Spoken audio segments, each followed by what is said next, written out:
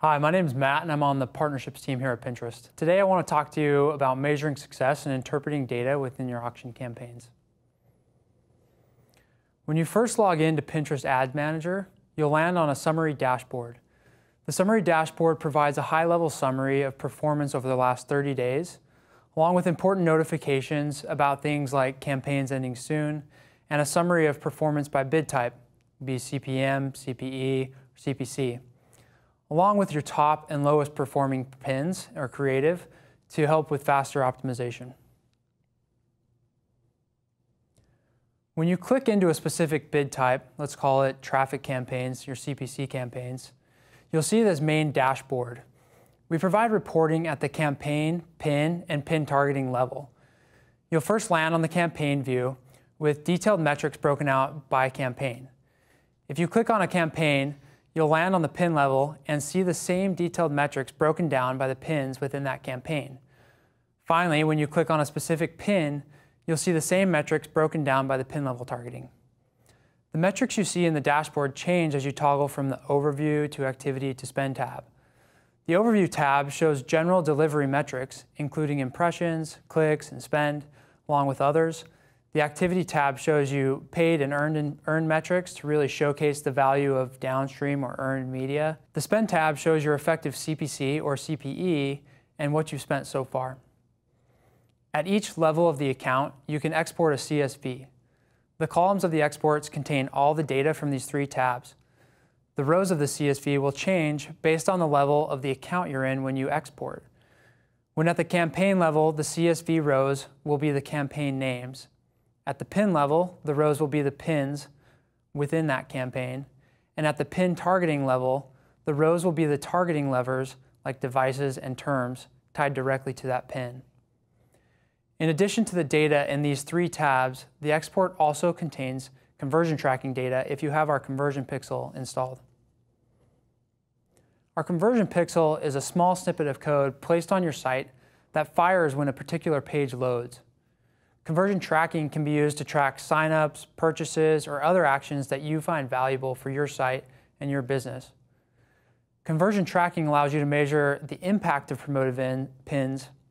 Conversion tracking allows you to measure the impact of promoted pins against business goals. For example, how many sales did promoted pins drive last week?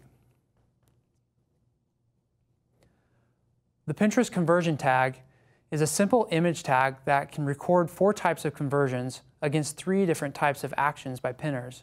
The conversion types include page visits, signups, checkouts, or custom conversions. The pinner actions could be either viewing your ad, engaging with your ad, which would include a repin or a close-up, or actually clicking through on your ad to your website. Attribution windows can be customized per action on Pinterest. For example, you can set your attribution window for view-through conversions to be seven days while leaving engagement and click conversions at 30 days.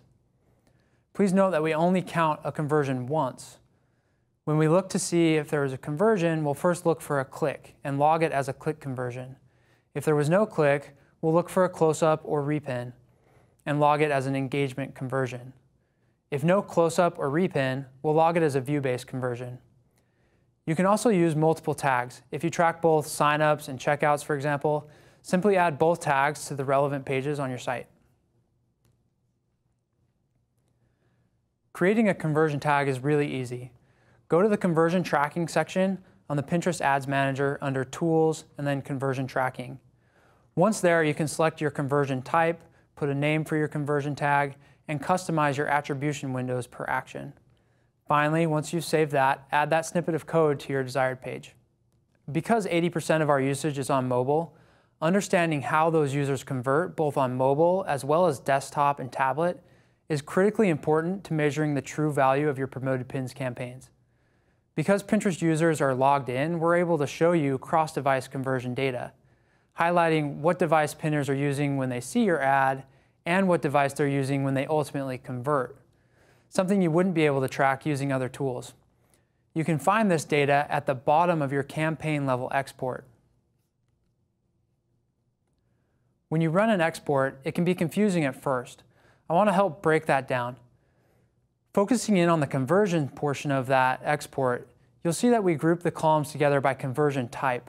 First, sign-up conversions, including a breakout for click, engagement, and view, then checkout conversions, followed by custom conversions. At the very bottom of your export, that's where you'll find the cross-device reporting as highlighted here. I've highlighted a particular interesting cross-device trend, measuring users who interact with an ad on a mobile device, but ultimately made the conversion on a desktop. This is a substantial number of conversions that I would not be seeing when using a third-party tracking tools, and very, very important to analyze the full impact of promoted pins. For more information on how to get promoted pins, visit our promoted pins page and check out the rest of our videos in the auction series to learn optimization recommendations, getting started with your campaign, and an overview of the auction. Thank you.